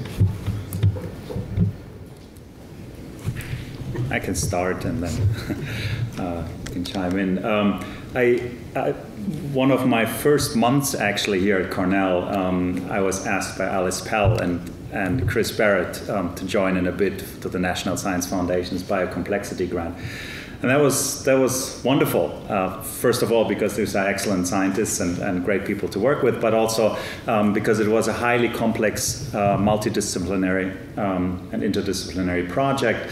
Um, but then, of course, now we debated aggregates, and it means something completely different to Chris uh, than to me as a soil scientist, and uh, and so we we, we uh, uh, um, take these these language hurdles first. Um, and uh, it, but but there are much more than these language hurdles. I, I think they're they're real hurdles, um, but they're uh, uh they're rewarding to take these hurdles. Uh, but taking them to, to the end uh, to a product is is uh, not very easy. Um, and um, I, I, could, of course, always criticize funding sources um, that rarely allow those interdisciplinary uh, projects to, to take to the, to the full end. Um, but but also the, the reward system in, in our uh, publication and, and in our promotion um, uh, system, and, and uh, that, that challenges this um, interdisciplinary uh, research. How we bring it out to people uh, through, um, I, I, think, increasingly through these knowledge products. Um, and I, I, really like the, the effort um, of, of AFSIS and, and um, uh, the, the uh, global um, soil partnerships that trying to bring, uh, to bring uh, multiple perspectives to um, to the international research centers and then to to the farmers. But the, the weak link is is the extension services. I think in many of the countries, as as Chris mentioned, and and that's something that's very removed from our work. Um, but I personally am very keen on it. Uh, we what we could do, and I think Cornell as a as a land grant and um, declared world university uh, could could have these uh, extension professors that are actually extension professors for international agriculture that are are uh, internationally uh, going to farmers uh, and work internationally with farmers and with extension services to build them up overseas, not just here in New York State as food science, we are actually equal opportunity researchers. We collaborate with animal science, dairy foods a big part of our program. We collaborate with the plant science people because they have, we make the product that people eat. We um, work with economists because ultimately it is the economics, is the money, is the business, and is what happens, how it, uh, you know, we deal with the you know, marketing of the product we create. Uh, we work with you know soil scientists how to uh, enrich the soil from waste material coming out of food processing. So we really are at the centerpiece. We interact with everybody in the college. I also wanted to pick up on that issue of extension and how, you know how we, in principle, we as researchers, uh, in, in a, a, certain view of extension, uh, sort certain view of how causality occurs in agriculture, we, we get the results and then extension takes it to farmers. And that, that model just does not have a lot of credibility, actually, to me or to a lot of people for a long time. And, and this idea of how to really bring local knowledge and global knowledge together effectively it remains a big challenge in spite of that critique being quite long standing. But I spent some years working in farmer field school sorts of settings. Um, and felt the p- potential research power of a democratized sort of science. And I still feel that if we were able to take that forward in a in a, the way that modern information science allows us to, we, there, is a, there is a possibility of a new way of thinking of extension that's more of a, a, a, really effective two-way link between the research process and the farming process. Because you can, if we were able to really link global principles with local experimentation on a vast scale, there could be the, a big data source for, for understanding agriculture that would be a lot better than what I currently have. My experimental capability now is extremely limited, but if I were able to be linked to a more democratized research process, my potential for understanding biological interactions of interest to me, those genetics by environment, by, by uh, management, by social processes would be so much more powerful. So I feel that if we're able to have the imagination to re envision the challenge of extension to be much more muscular, much more multi directional, actually, our ability as scholars to understand the processes underlying production, nutrition, transformation would be so much more. So I think we have to I think we have to be more imaginative and how we envision. That word is so inadequate. We don't even have vocabulary for a new idea of extension. I mean, please give me one. I hate that word because it so implies a linear one way process that I know and she's going to do what I say. That's actually still the functioning assumption of many people, and it's so un- uninspiring to me. So, anyway, I think we can do better. uh, folks have questions? And there are, oh, a lot. Wow. I thought I was the only one. Word I've got more. Uh, yeah, so I don't know where to begin. Uh, the first hand I saw there was uh, Randy Barker, right behind you. Sorry. Um, first, I wanted to mention that as a, coming to Cornell as an undergraduate, I had to milk cows for six months just to get in. that was a couple of years ago, so you know I'm not. Uh, I would like to put a footnote on what Chris has said about water. You see, water resource management isn't one of those kingdoms up there because we don't have a kingdom in water management, partly because it's interdisciplinary. Now, uh, the problem is this. Uh, in water resource management in Ithaca, New York, of course, is keeping water out of your basement. But water resource management in the U.S. is becoming a critical problem uh, and, in Africa and uh, Asia as well. Consider the U.S. Uh, the Ogallala watershed is dropping, is being mined. the breadbasket, one of the world's breadbaskets, is under threat. And uh, back in what Pedro calls the good old days, Cornell and Utah State and Colorado State trained a generation of people in water management. We taught a course for 10 to 15 years, and I say we, myself, Gil Levine, and uh, some other people and so forth in engineering. For 10 to 15 years, we taught an interdisciplinary course in water management, where we met once a week, four of us, professors every week, to talk to each other about water management. That's all gone. Uh, and uh, Chris, I was out in Logan, Utah, a couple weeks ago. That's a territory that you know well. And I talked to Jack and Andy Keller, and I said, what's going on out here in water management? They said, oh, the Utah State hasn't hired anybody in water management in decades. So we've got to start somewhere and start thinking about what Chris has identified correctly as, I think, the real resource constraint that we're facing.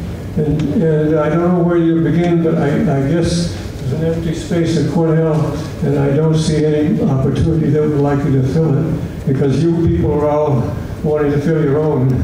And, uh, and, and uh, as I say, uh, being an interdisciplinarian, I mean, you know, it's too complicated for economic economists. They don't want to get into something like that.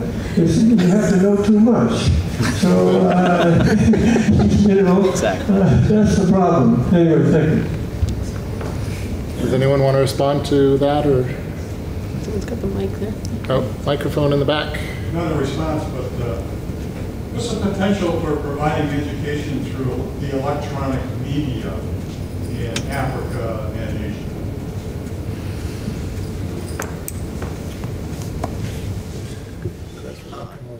Single word answer tremendous. tremendous.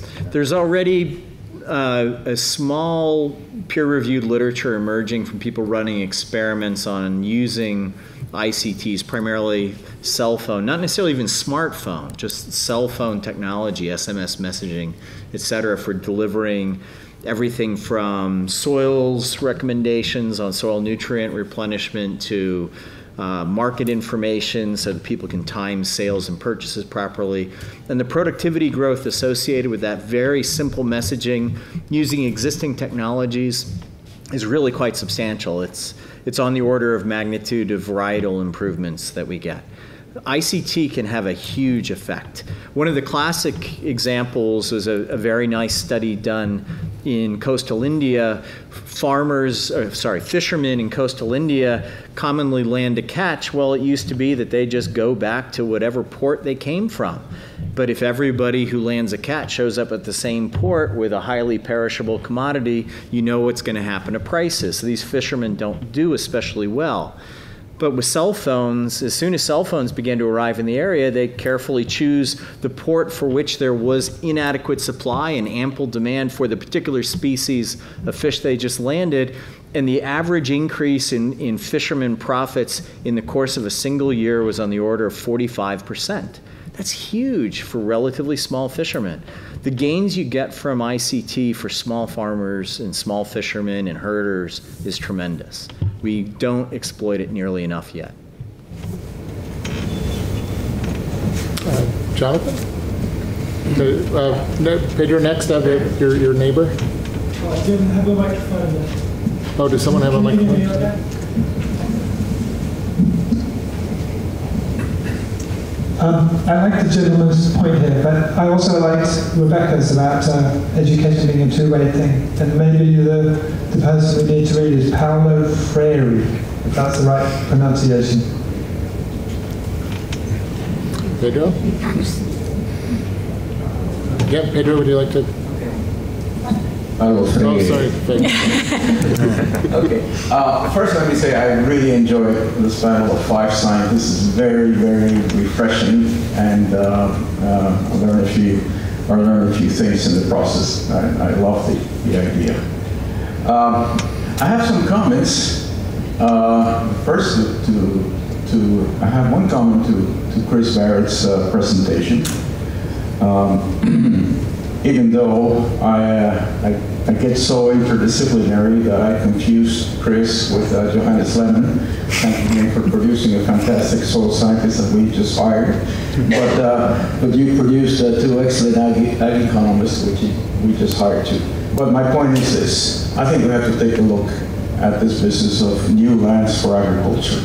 Our mantra that everything has to go through intensification. And I was the first one that said double, triple yields. That's intensification. The mantra of that, I think, we, uh, deserves scrutiny because there are large areas uh, in South America and Africa that are not uh, environmentally viable, usually degraded pastures and stuff like that uh, that could be transformed into, into large-scale agriculture. There's some huge dangers in Africa with that, with the land grabs uh, that are happening, and, and that's, a, that's a major constraint. Uh, still huge possibilities in South America, enormous possibilities, without touching the Amazon or any environmentally, environmentally sensitive, sensitive areas, usually using the either the uh, uh, forest fallows or, or, the, uh, or degraded pastures. Uh, now that we're about to have, you mentioned AFSIS, the digital soil map of Africa, we're about to have the first digital soil map of Africa in, in the next few months at a very nice scale, um, 100 meters by 100 meters, that's a hectare. Uh, we might be able to figure out where they are. I've seen the Cerrado, the African Cerrado, many, many times. It's all in southern Africa, same latitude as Brasilia. Um, now that we're also working with the Brazilians on a digital soil map, maybe we can get a few things together and figure out where things are. But it's, uh, I don't want to exclude it anymore, Chris. Our mantra is that everything has to be yield increases. Yes, but not everything. There is that, that potential too. And, and my second comment is, is to Mike. uh, that uh, maybe I spoke too fast, but I was saying doubling to tripling food crop yields. And that I also meant, I didn't say so, but I, I also meant livestock yields, I also meant uh, tree yields. And in the Millennium Villages projects, uh, farmers in the pastoralist areas have been able, because of some interventions, to indeed triple camel milk yields.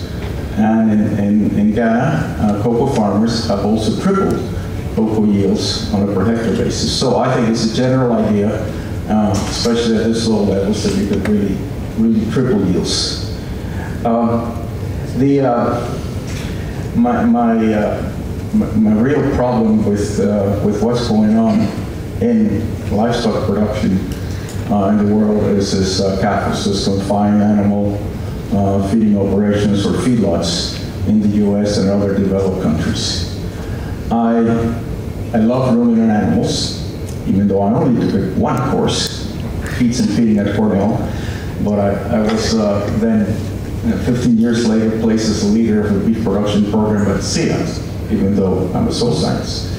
And uh, I, I was actually asked by Science Magazine uh, to put together a policy forum on, on, the, uh, on the confined animal feeding operations. And we went through, we had people from all over the world involved in that, saying, my God, you know, so bad to prostitute the, uh, the ruminant animal and made it into a monogastric that is basically only eating corn and soybeans in, in a good chunk of their lives. And, uh, and, and, and so on. We had all the arguments until we got to economics first. And, and then the paper fell apart because this confined animal feeding operations are extremely profitable. Now they're very bad for, for everything else, for the environment, for our arteries, cholesterol, so on, so on, so on. But they're, they're extremely profitable, so we just dropped the paper. Um, I still think I'm a carnivore, and uh, I, I love to see, I love to eat good beef. Uh, I mean, sorry, uh, grass, grass-fed um, steaks. And when I go to land in Africa in a place like Senegal, that's about the first thing that I ask for. Um, and, uh, but I don't know what, I mean, if there's any possibility of frankly coming into our senses and, in letting the ruminant animal be uh, either uh, do, do its thing, as you say, using land that, that cannot be used for crop production and, and, and so on. So that's my question to you. And then, then a, comment.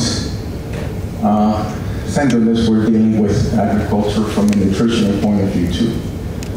And I was told by, by nutritionists in Ghana, I have a lot of respect, that uh, babies after weaning, toddlers or whatever they may be, really need to eat some sort of meat uh, in order to have enough iron in their little stomachs. And, and other, uh, other, uh, other foods cannot provide that.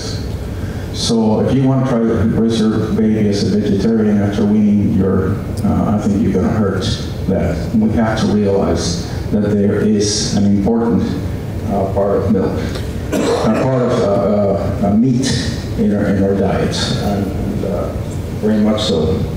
And what you said about who's milking the cows and, and collecting the uh, apples and, and all this stuff, he does with the immigration reform. Mike, do you want to quickly respond to any of that? Yeah, so the, yeah, I'll, I'll get myself in trouble here. So, so, the only, well, I'll agree with everything. The, the feedlot is a hard one. You know, so the U.S. feedlot's a really interesting example for a little over half, maybe three quarters of their life, they spend their time on grass, right? Because it still is a cow-calf operation. But then, you know, it, but it, you know, and it wasn't such a big deal. We didn't really think about it that much until we started this ethanol mandate. And when grain went to six, went from 250 a bushel, corn to six or seven dollars or eight dollars a bushel. Now all of a sudden, we got a whole other problem. Now, of course, we've adapted, so we're spending lots of distillers to these guys because you got to get rid of that somehow. So, so there's that's probably again, it's back to resource allocation. But I, I would agree with you at some level. There's probably a limit to how much we can afford to do that equitably and environmentally. It's a lot of eh, resource input for, for beef. But I still don't know, you know, I'm a cow guy, I'm still trying to figure this out, because you're right, in the end, they still make money. And, and that's, and they still feed people. Now, we just have to decide that it's not the, maybe it's not the best resource allocation. So, I agree with that part. Uh, Ronnie Coffman has a comment?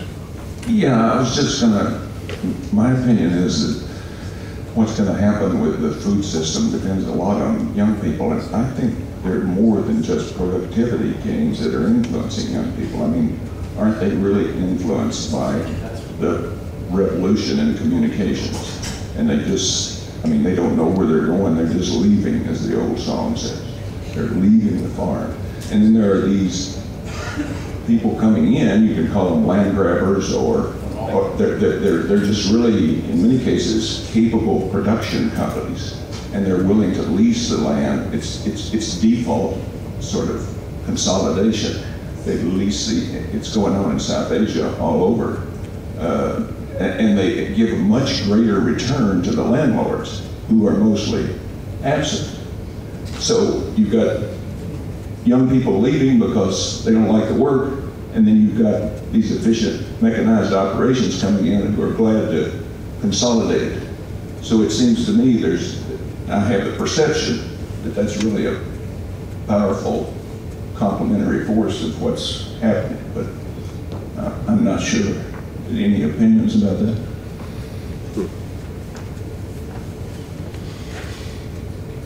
Anyone want to comment on that? I mean, one kingdom we're missing here are sociologists and demographers. We, Yeah, they wouldn't return emails. Uh, In black, here? Oh, sorry, she said that microphone, one, bef- Yeah, um, I, next. I, um, I'm sorry? Yeah, and after Can I you, the speak, can I speak? Yeah, um, I just wanted to piggyback, if, if I can, um, I wanted to mention, uh, s- express a couple of thoughts. Uh, one, I wanted to piggyback on the last session, uh, where the moderator, John, uh, you talked about, um, the P, you know, doing the PBS special on nine million people and how GMO, the issue of GMO is very difficult. And, um, that's one of my biggest concerns, where the GMO issue is going, and that ties into everything else that we're talking about here. Um, things are moving very fast. As we see how technology is moving at such a fast pace, we can't keep up with it.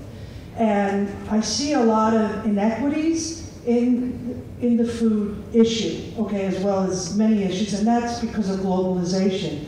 Globalization is moving very fast, and countries don't really have a say in it. I've been to many conferences up here up at Cornell to know these things, especially Africa, where there's a huge land grab, where indigenous people in Africa who have little plots of land who know how to manage their land, or same thing in Mexico, are driven off their land by large landowners, okay? Now, you're nodding your head up front. Maybe that's not happening everywhere. No, the gentleman in the front there. But that is happening. I mean, I see this in documentaries, I see it at conferences here at Cornell, I see it, I watch a lot of news, I tune into PBS, uh, BBC, you know, uh, alternative programs. So anyway, um, I, I think that we're not giving people choices. We're talking about having this modern technology, but we also have traditional farming where people are losing their seed because of genetically engineered technology that's being forced on them. So that's a real ethical concern, and, and like it was just said, we don't have a sociologist on the panel. That's, that's, that's a moral issue.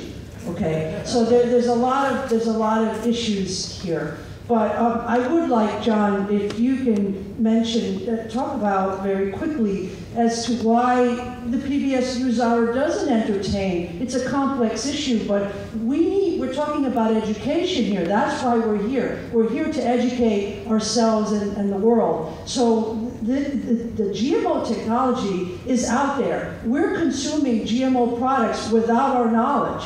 So, so this, this has to be on the frontier of news and education. And your wife, who's next to you, mentioned a corn farm project in Aurora. So I would like if you could elaborate, like what are you, what, what is that about? Are you using GMOs? How, what kind of experiment is going on with that? So if, if you, if any, if you, both of you could answer that, and anybody else on the panel could speak on the issue of, you know, the right of a farmer being imposed upon, or, or a country even, being told, well, we have these technologies that are coming from the West, Okay, and, and this is the way you need to do it. Thank you. I'm sorry it took so long. Okay, yeah, we do just have a couple minutes left, and there were a lot of people with, with their hands up in the air. So uh, I would rather not answer in this panel. Uh, I can say I don't know how PBS NewsHour has handled the, the GMO issue um, outside of the, I mean, I, I don't work for them, so I, I don't- I don't know. Uh, Does anyone want to take on any of the issues that, that she raised? Hand in the middle, please. Yes. Oh, sorry. Oh, I said you were next. I'm sorry, I broke my promise. Sorry, you're, Okay, thank you. Uh, I am Hamfi Follow from Morocco. So my question has to do with uh, agriculture and uh, food. Uh, in Morocco and uh, in general in uh, most of uh, countries in Africa, uh, there is a, a huge uh, uh, gap between uh, private and uh, and uh, and public uh, sector. Uh, and as I hear from your presentation, the work has to start uh, from the local uh, local level because they have details, knowledge about their, their, their, their context. So in Morocco, for instance, uh, the private sector uh, is growing, and uh, they, the, their goals, most of them, their goals is to produce and to export their products. But their contribution uh, uh, in terms of, uh, of, uh, of uh, um, uh, water management, soil management, or the priority of our agriculture, in, in the country is limited. So my question is, we are uh, uh, we are in the right uh, right way, or uh, because there is no no balance between uh, private and uh, and uh, and public uh, public sector in uh, in terms of agriculture in my country. So uh, uh, are we taking the right way, or maybe something we, we should uh, do something for?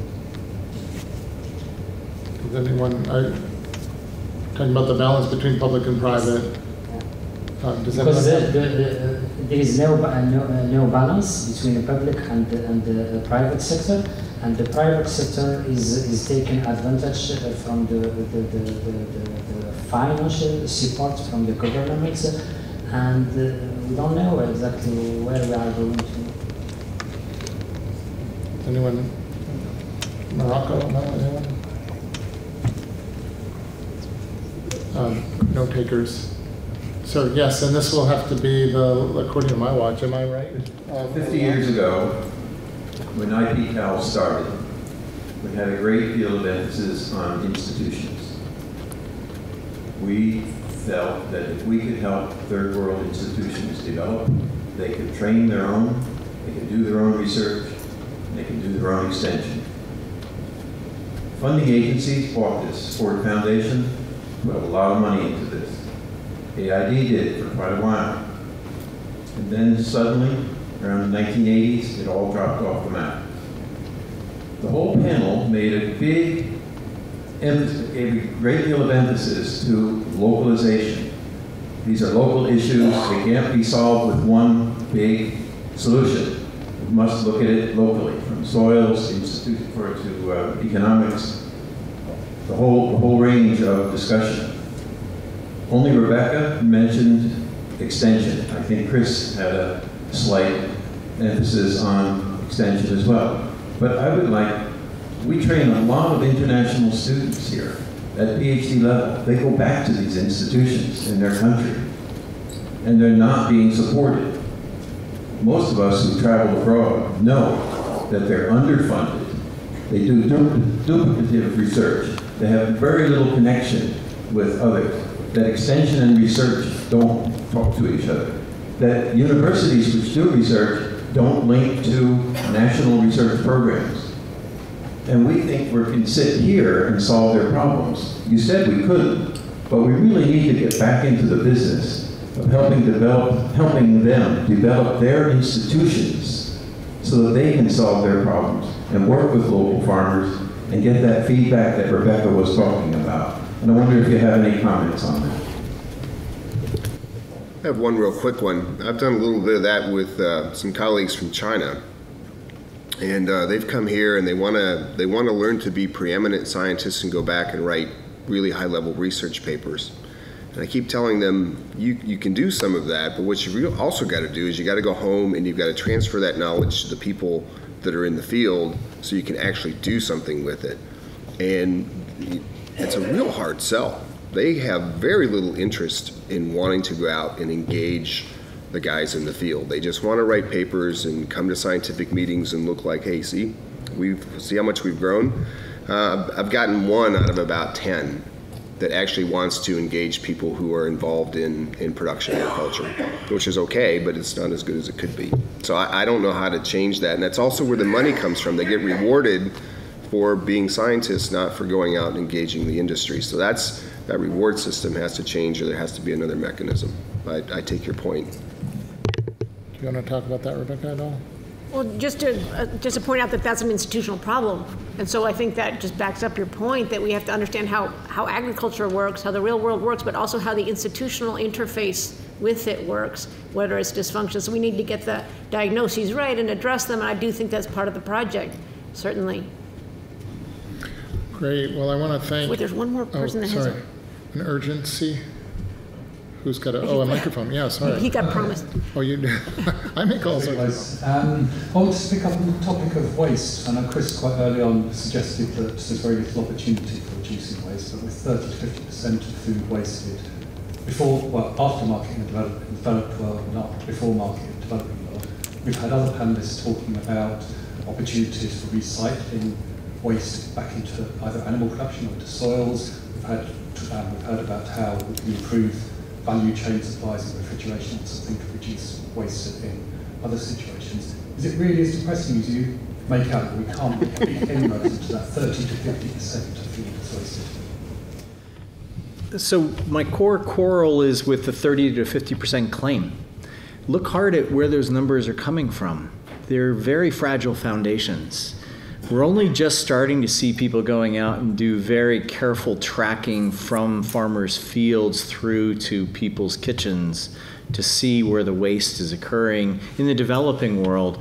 And the few preliminary findings that I've seen, and I emphasize they're preliminary, find far lower numbers than the sorts of things you find in these big meta studies coming out of FAO and a few other sources. And when you start tracing the footnotes, you find that there isn't a primary data source behind any of it.